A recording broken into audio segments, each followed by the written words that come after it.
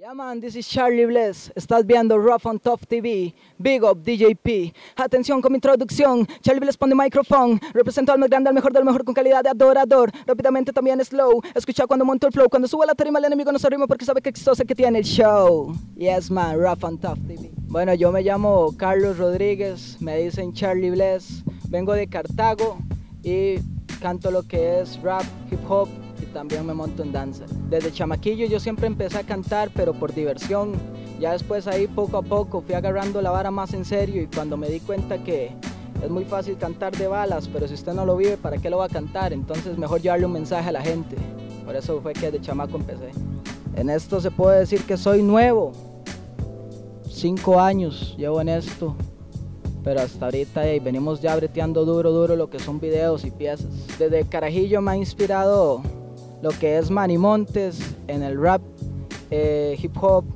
De aquí de Costa Rica me cuadra mucho el estilo de Ungido, respeto mucho el estilo y el trabajo que él hace.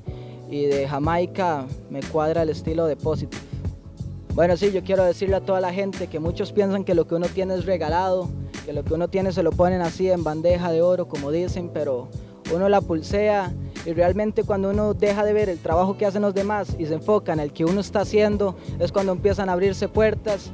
Y lo que es de uno es de uno, Mob. Muchas veces dicen que Dios le abre puertas a uno que nadie le puede cerrar y Él le cierra puertas a uno que nadie le puede abrir.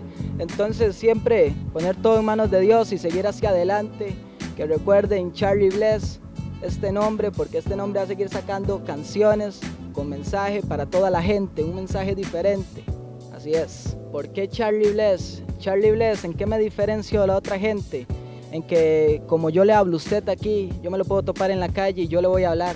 No es como otra gente que dice que aquí es esto, amor, esto, y usted los ve en la calle, los saluda, pa. No, man, no tengo tiempo.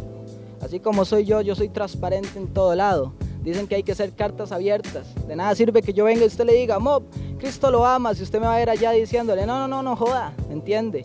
Aquí no hay que cerrarle las puertas a nadie y eso es lo que yo siento que a uno lo caracteriza. Cuando uno es humilde en lo que está haciendo, tiene que hacerlo en todo lado, no poner caretas, cero, cero transparencia.